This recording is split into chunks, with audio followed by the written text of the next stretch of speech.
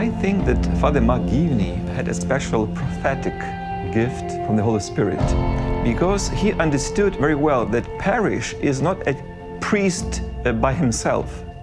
Parish is a community of laity.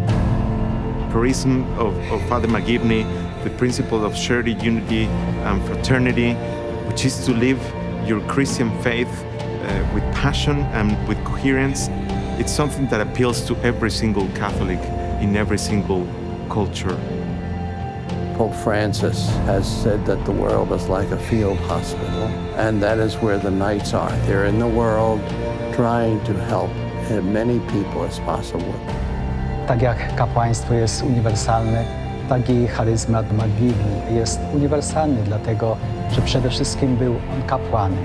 Właśnie całkowicie oddawał się drugiemu człowiekowi, który całkowicie oddał się na służbę Chrystusowi.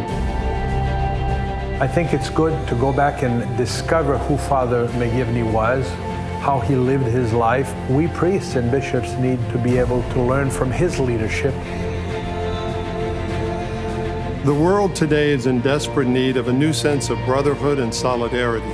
By founding the Knights of Columbus, Father McGivney gave us a practical way to bring a greater sense of charity and unity to society.